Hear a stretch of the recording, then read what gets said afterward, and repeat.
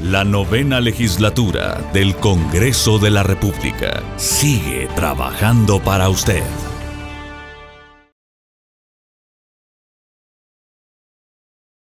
Muy buenas tardes. Hoy domingo 22 de agosto hacemos de conocimiento al pueblo de Guatemala que esta junta directiva ha conocido la resolución de la Corte de Constitucionalidad de fecha 21 de agosto de 2021, contenida en el expediente 4466-2021, y luego del análisis jurídico y la discusión correspondiente, hemos acordado presentar ante la Corte de Constitucionalidad un recurso de aclaración a efecto de cumplir con las normas constitucionales, respetuosos de los principios de supremacía constitucional y legalidad entendiendo que los límites a los derechos constitucionales constituyen un caso excepcional que se debe conocer y tratar con la más alta responsabilidad.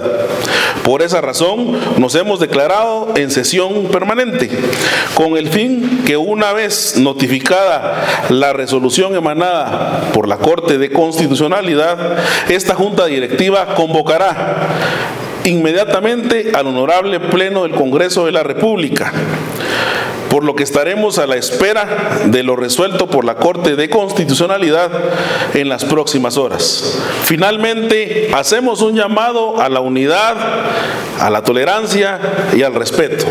Muchas gracias. La novena legislatura del Congreso de la República sigue trabajando para usted.